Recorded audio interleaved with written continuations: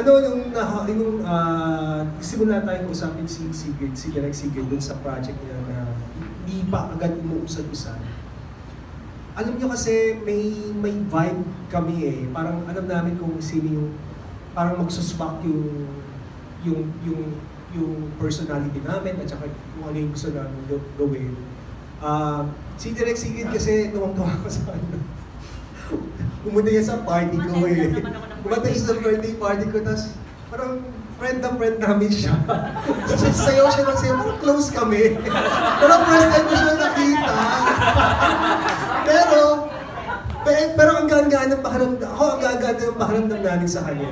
And then nung nagbatuhan kami ng ideas, tapos meron siyang ano, parang suwa kami, parang we complement each other. Yung, alam ko kung ano yung gusto niyang mangyari.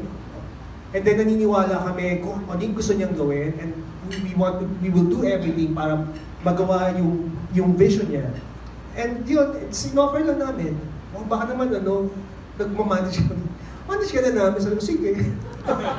ganun lang kadali. Ganun lang kadali. Parang ganun dapat yung ano eh. Hindi... Oo eh. Meron talaga eh. Parang... Tsaka itong mga nakasama namin ngayon, ng mga kaibigan na rin namin, nag, nangyari lang talaga. Ah, hindi naman namin kinarir, audition. Pakita ka nga ng reel mo kung magaling ka.